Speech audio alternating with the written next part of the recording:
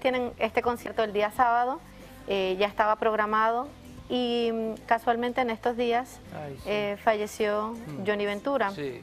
Eh, algo que vayan a lo mejor a incluir que no tenían pensado o algo que, que quieran hablar de Johnny Ventura. Mira, eh, en mi caso, desde hace muchos años, este, conocí a Johnny, ¿no? Y, significa cada vez que, que un artista parte, pues significa algo muy duro para nosotros, los, de, los, colegas. Pero, pero al margen de eso, sabemos lo que, lo que República Dominicana siente por un hombre que llevó el merengue a todos los rincones del planeta el merenguero mayor, ¿me entiendes? Entonces, no nos hemos atrevido a hablar de, de hacer algo este, en homenaje porque yo creo que, que esta noche del sábado se la vamos a dedicar a Johnny completa, ¿no? Para cada uno, ¿cuál es la canción favorita de Montaner?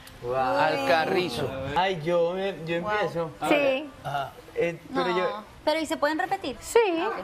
porque tú vas a decir lo mismo que yo. No, no sé, pero digo, Sí, si tuviera que elegir. Wow, sí. por alguna razón siempre he amado cada vez que mi papá hacía un concierto cuando le tocaba cantar Será, para mí era súper como, o sea, era de las que yo gritaba así, Será. Qué buena canción, por Dios. Mao. Soy tuyo, ¿no? Uy, qué lindo. Es de mis preferidas. Yo, Que te amé con